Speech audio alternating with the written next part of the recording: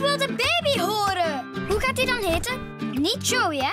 Zo heet ik al. Nee, Joey, want het wordt een zusje. Wat het wordt is nog een verrassing.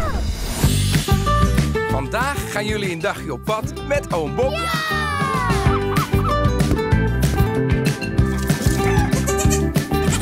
Hey, pst, jij heet toch Joey? Waa! Ik ben Hap. Kan je echt praten? Ja, jij kan toch ook praten? Het geitje was toch bij Joey?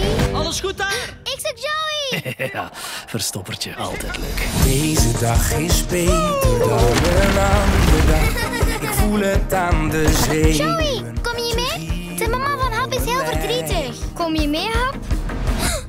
Oh nee, Hap is weg. Laten we samen zoeken. Om jou te vragen of je zin hebt in een vrolijk Hap, je mama wacht. Want het is altijd z'n twee. Dus ga je met me mee. Op deze dag